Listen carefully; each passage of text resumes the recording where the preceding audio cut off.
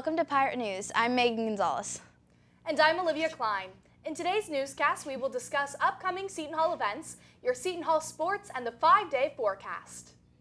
Join the School of Theology today from 3.45 to 4.15 as they present Facebook Live, Christianity and Human Happiness. The School of Theology's Patrick Manning and Associate Dean Diane Traflet will discuss his new upcoming spring graduate course, Christianity and Human Happiness. You can ask them questions in real time, all from the location of your choice. To receive a notification when the event goes live, like the School of Theology on Facebook. For more information, contact Diane Carr at diane.carr at shu.edu. Observe the art exhibitions of David Freund's Gas Stop and Tom McGlynn's Standards at the Walsh Gallery from November 5th to December 14th, 2018.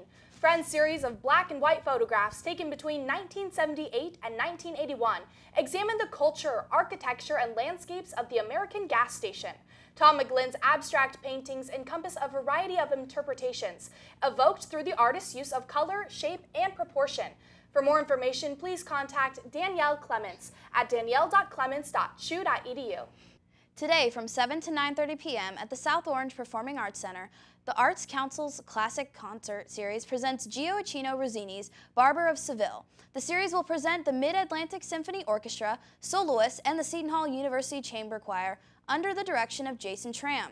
For more information, contact Danielle Clements at danielle.clements at shu.edu. The weekly faculty lunch will be held today, Wednesday, November 14th in the Faculty Lounge. This event will take place from 12 p.m. to 2 p.m. and provide time for colleagues across campus to socialize in a relaxed environment. Faculty members must pay $3 for an all-you-can-eat lunch buffet. For more information, contact Mary Balkin at shu.edu. And now we'll head over to Christian Gardner with your Seton Hall Sports Update. Christian? Thanks, Meagan. Hi, Seton Hall fans. I'm Christian Gardner, and this is your Seton Hall Sports Update. On Sunday, the Seton Hall women's basketball team finished their first annual tip-off tournament. They came home with another win, beating UTSA 84 to 53. The Pirates were led by junior Shadeen Samuels' 23 points. Samuels also went home with some hardware, receiving the tournament MVP. The women's basketball team will be back in action tonight against Princeton. The men's team took on New Haven last Friday, winning 73 to 62. The Pirates were led by sophomore Myles Cale. Cale led the team in scoring and three-pointers. The men's team is also in play this evening against the Nebraska Cornhuskers. Can the Pirates recreate the same production on offense out in Lincoln? We'll see at 7.30. The volleyball team had their senior night on Friday. Seniors Sophia Coffey, Caitlin Koska, Cherise Hannigan, Abby Thielen, and Miranda Higginbotham said their final goodbyes to Walsh Gymnasium. The Pirates were unfortunately lost, but still have storied careers left behind them. Well, that's going to do it for your Seton Hall Sports Update. Once again, I'm Christian Gardner. Now back to Olivia and Meagan for more of the news you need to know. Thanks, Christian. Seniors, the last day for class ring orders is today, Wednesday, November 14th from 12 to 5 p.m. Balfour will be offering discounts to the class of 2019 for on-campus orders only. The table can be found in the Galleon hallway by the front entrance to the cafeteria. For any questions, contact Megan Borowick at megan.borowick at shu.edu.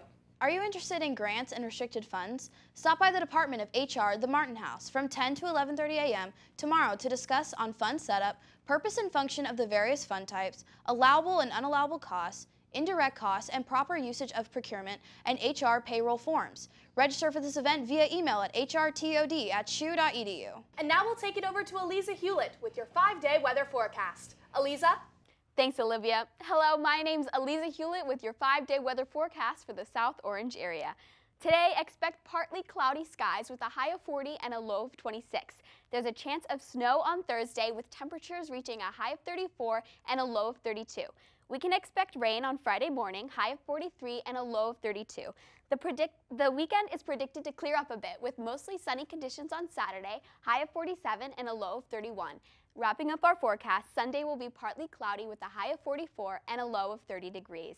Once again, my name's Aliezah Hulett. Now back to Meagan and Olivia with more of the news you need to know. Thanks, Aliezah. Tomorrow, Thursday, November 15th from 12.30 to 3 p.m., there will be a retirement symposium. This presentation is open to all Seton Hall employees and will discuss Medicare, Social Security, and TIAA.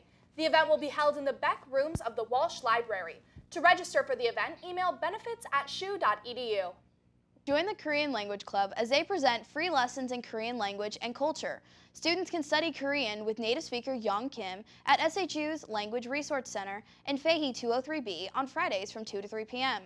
For more information, contact Michael Stone at michael.stone at shu.edu.